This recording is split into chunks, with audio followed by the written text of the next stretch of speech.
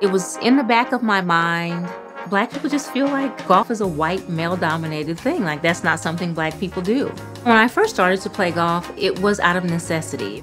I was working in corporate America, and golf seemed like something that only white men were doing. I felt intimidated. I was embarrassed because I didn't know what to do. I started playing and learning more about the game. But I did notice that when I did go play, there weren't other women who looked like me. I knew there had to be other black women who felt the way I do. And that's when I thought, I should figure this out. I should kind of see what the next steps are.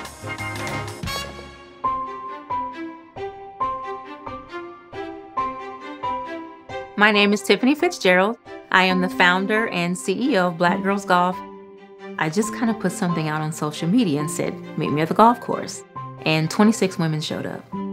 Hi there, this is Tiffany. Oftentimes, the meeting after the meeting happens on the golf course, and when you're not there, you are really missing out. A putter doesn't have a loft because you want it to roll. And today, I'd like to invite our members to Topgolf.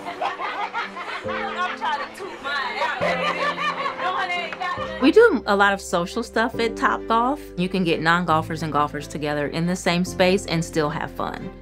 I love that golf is a way for us to bond and to be able to talk and communicate and connect with each other. I created Black Girls Golf because I thought it was important that black women have a space from a golf course. I wanted to show women if I can play, you can play. That even though this is a tough sport, you can do it too because we're all doing it together and we're supportive of each other. Okay, you guys, we're gonna warm up a little bit.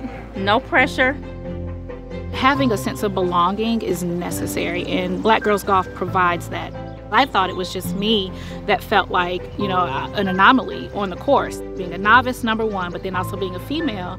So this really has been a, a good safe haven. I actually reached out to Tiffany through Twitter, told her that I was very interested in learning more about her organization Black Girls Golf is very active on social media. I wanted people to really understand golf is not pretentious. It's however far you go back, so far you go up. She's very knowledgeable, so I ended up taking lessons from her. And I can get it within three feet of the hole. I know I can you know get you it can in. get it. You already know you can get it in. I like that.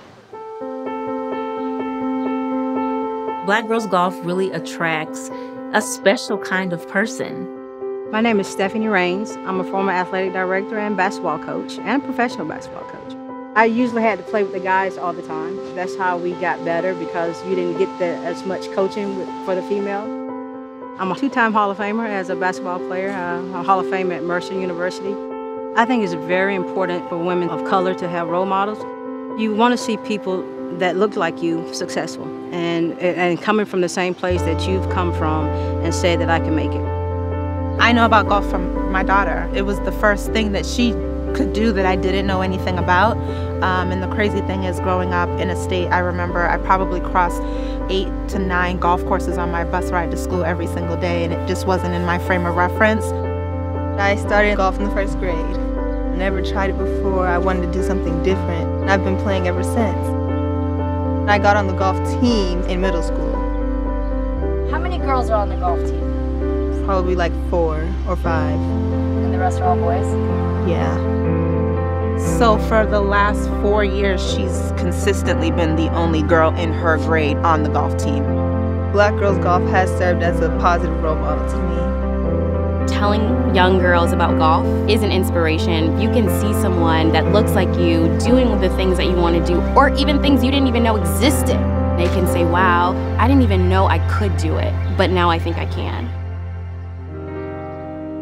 My name is Joy Matthews. I'm a senior accountant and I'm 32 years old.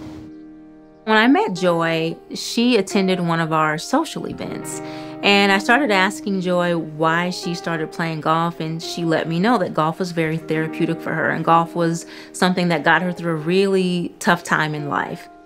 I was 27 when I lost my father. It kind of sent me through a depression stage where it was hard for me to be social. I just didn't want to be around people. I didn't know how to be around people. Black Girls Golf helped me therapeutically get out and kind of talk to people and open me up. It's kind of like a sisterhood. Women are actually entering the field and entering the sport in droves now. There's nothing that a woman can't do. And it's time that, you know, we kind of step out of the box and not look at these things as barriers or boundaries.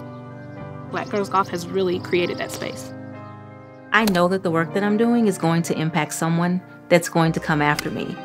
So that when the future looks back, they can have a sense of pride that there was someone who thought about me. Someone who knew that I would need golf as a tool to impact my life or change the trajectory of my life.